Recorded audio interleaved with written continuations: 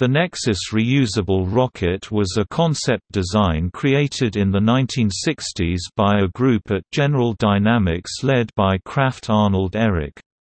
It was intended as the next leap beyond the Saturn V, carrying up to eight times more payload. Several versions were designed, including 12,000 and 24,000 short-ton vehicles with payloads of 1,000 and 2,000 short tons respectively. The larger version had a diameter of 202 feet (61.5 meters). It was never built.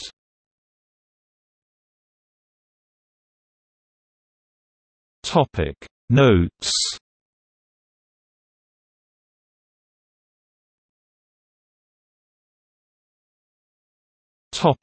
External links. SP4221 The Space Shuttle Decision, Chapter 2 Encyclopaedia Astronautica, Nexus. Diagrams of Nexus versions